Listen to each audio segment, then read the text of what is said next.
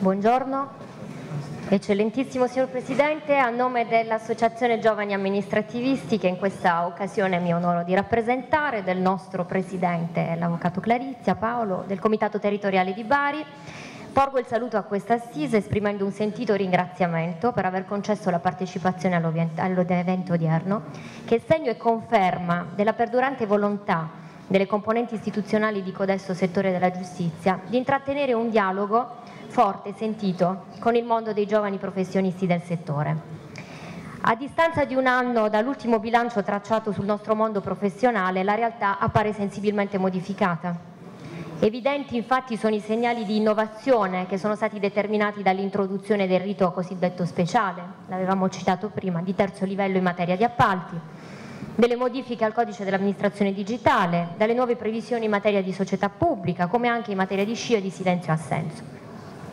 Come non ricordare l'avvento del PAT, del processo telematico amministrativo ed il connesso obbligo di deposito telematico degli atti, che ha già occasionato in un'ottica di modernizzazione del processo l'insorgere di una giurisprudenza amministrativa vivace ma soprattutto vigile, vigile sulle problematiche connesse all'operatività dello stesso, di pari passo anche con le riforme in materia di sinteticità degli atti difensivi. Temi su cui la nostra associazione ha avuto modo di riflettere affrontando anche dal punto di vista sostanziale nonché eh, processuale quelli che sono gli effetti di eventuali vicende patologiche che potevano insorgere nell'ambito dell'applicazione delle discipline sia normative che regolamentari nei rapporti tra pubblico e privato. I problemi sul tavolo sono tanti da affrontare e le risposte non sono sempre a portata di mano. Significativa anche il, la questione del calo del contenzioso, che è ancora uno spettro incombente di un fenomeno ahimè irrefrenabile. Ma la giustizia, come diceva una persona sicuramente più saggia di me, nei confronti dell'individuo, fosse anche il più, il più umile, è tutto, il resto viene dopo. La tutela giudiziaria per svolgere appieno la sua funzionalità deve essere effettiva.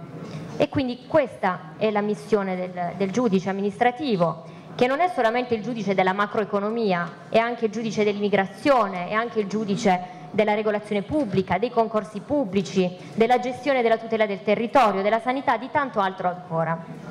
Ma è soprattutto il custode delle garanzie apprestate nei confronti di un corretto esercizio del potere pubblico e del rispetto delle regole in una società che è in continuo divenire e altrettanto velocemente l'evolversi del concetto stesso di bene della vita. Alla luce di questo credo che appaia essenziale mantenere forte comunque il dialogo e il confronto sulle problematiche emergenti. Noi continueremo ad esserci verso un orizzonte di sviluppo e anche di crescita, con responsabilità e senso di caparbietà. Quindi alla fine cosa dire? Non resta che augurarci buon lavoro reciprocamente e un saluto a tutti. Grazie.